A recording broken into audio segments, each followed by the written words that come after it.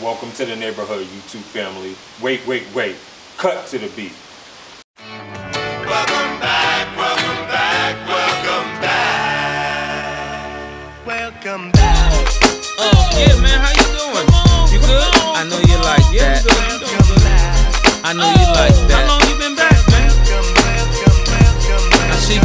In the club, they getting wild for me. And all the pretty chicks all wanna smile at me. These rap cats, man, they all got this style from me. And if I ever see them, man, they probably bow to me. And when this beat drop, I know they gon' lean.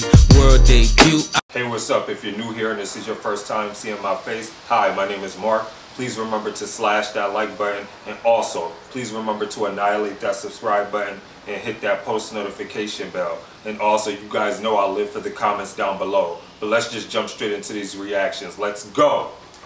Okay, so before we get into this reaction, huge shout out to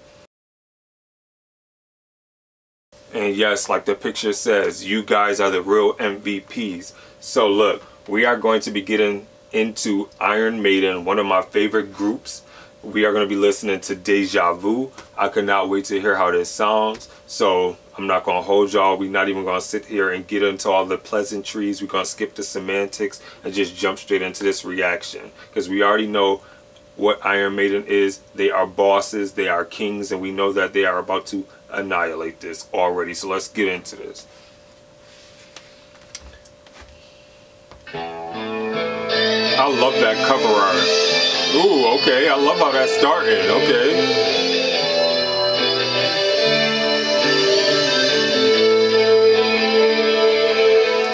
I love how that guitar is playing because it's as if like he's making love to the guitar like he's becoming one. Like I feel like the guitar is like in a wedding dress and he is at the altar and he's about to get married to it. That's just the imagery that I'm getting from this because I feel like he is living and breathing his guitar. If, if I had to say so myself I would feel like he goes to sleep and goes to bed with his guitar and kisses it goodnight. That's just like how amazing and enthusiastic I'm getting like from his play. So let's jump back into this.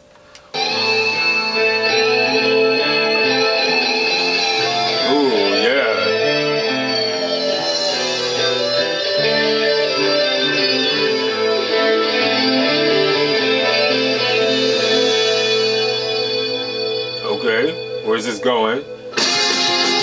Oh, wow.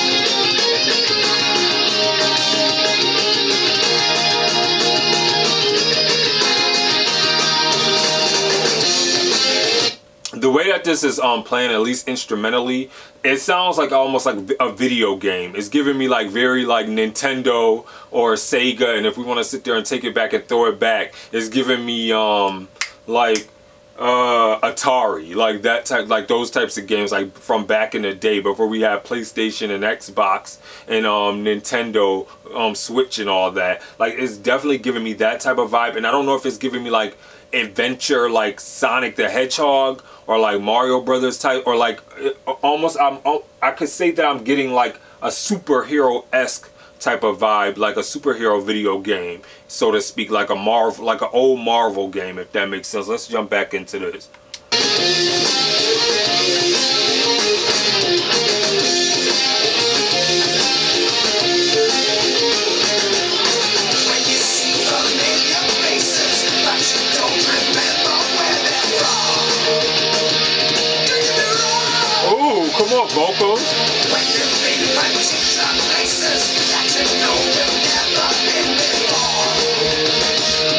you be sure? I love his voice right there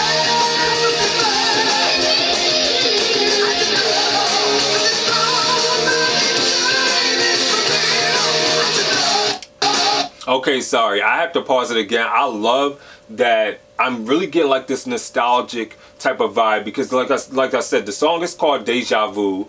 Um, it's by Iron Maiden, and it's definitely putting me in a mind frame of like deja vu, basically of being in a situation or a place. If you actually look up the definition of being in a situation or place that you feel like you've been before, and it's definitely putting me in that vibe because, like I said, it's giving me these vibes of as if I'm playing Atari or Nintendo or Nintendo or Sega. Like I feel like I've been in this place where I'm actually like sitting down as a kid and playing a video game of like Sega and playing like Sonic the Hedgehog or playing some type of like Mario from um Nintendo or I want to say like the old Marvel games. Like it's very nostalgic and it's giving you this type of vibe where it's like giving you this time travel type of vibe. Like it's uprooting you from present day and placing you in the past or it's taking you back to a space or place that you feel like you've been before. Like you're like yo like like if it, like, I could say that has anybody ever had like this feeling where they enter a room and they just sit there and look around and you're like, yo, I feel like I've been here before.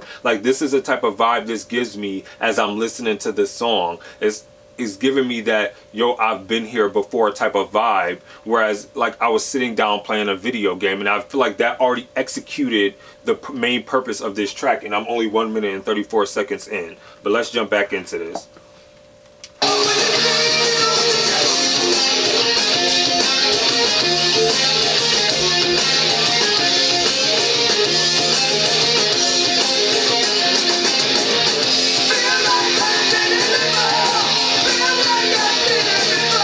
they saying that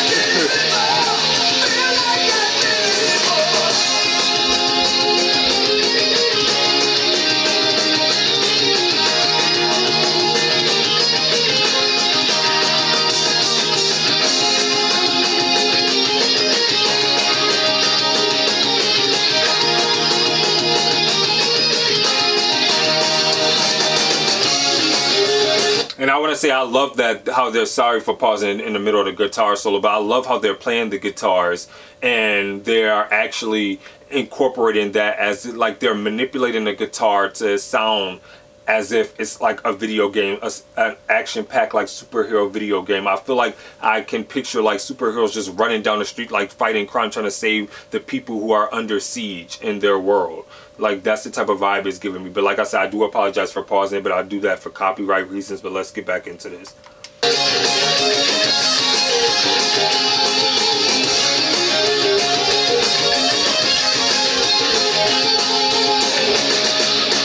Ooh, I love that.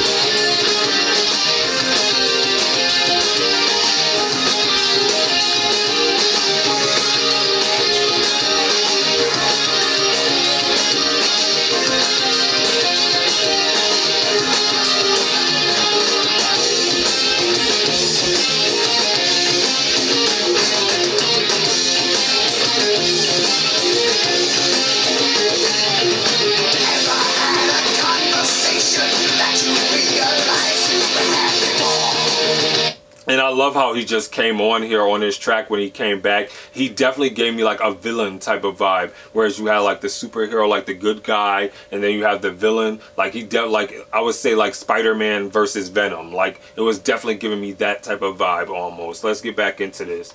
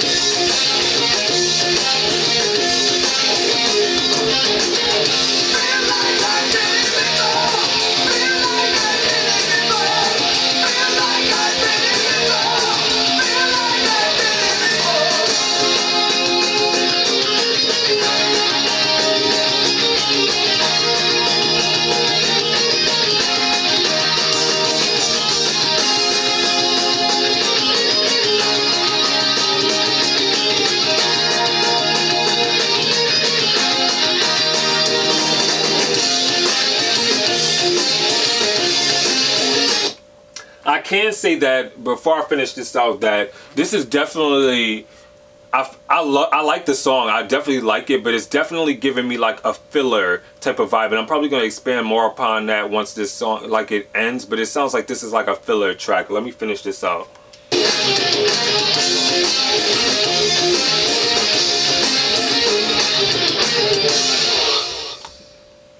I like that. It kept my head bobbing. I will say that.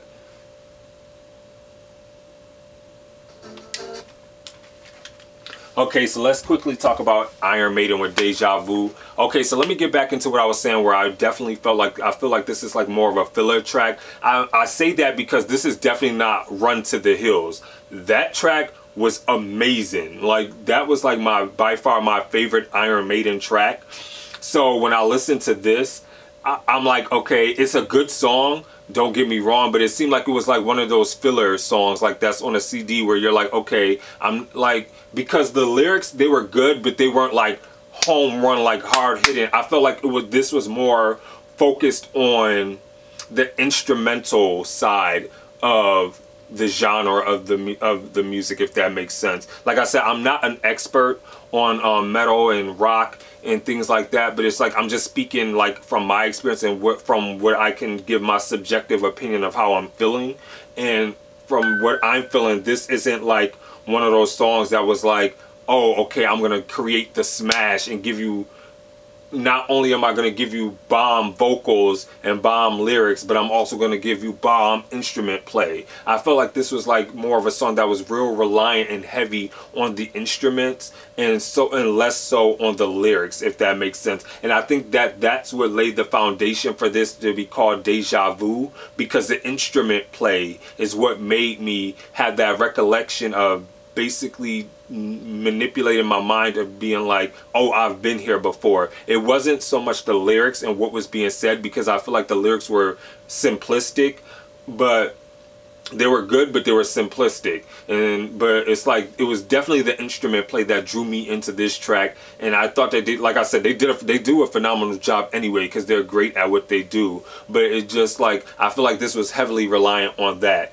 But other than that, it was still a, it was still a good song. I'm definitely still gonna give it a 10 out of 10 because I mean it's Iron Maiden and it would be sacrilegious to sit there and give this anything less than that. I'm just saying that for me, it I don't feel like it's one of their it's not their best. Like cuz to me, Run Run to the Hills to me is still their best song, at least in my opinion, even though I haven't heard all their music. I've only been re as many of the reactions that I have done is how much music I've listened to of Iron Maiden. So I have to rely on you guys' expertise who are more heavily involved in the genre and also know them as a group uh, as a uh, in their catalog of, and body of work as my reliant sources of telling me what is their best songs. But uh, at least for me personally, I feel like Run to the Hills tops this.